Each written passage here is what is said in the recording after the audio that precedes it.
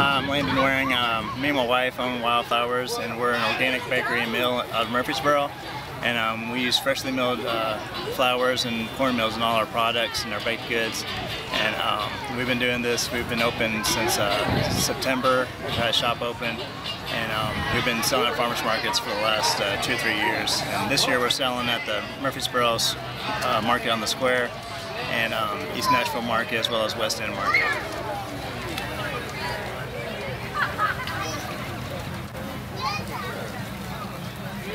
Thank you.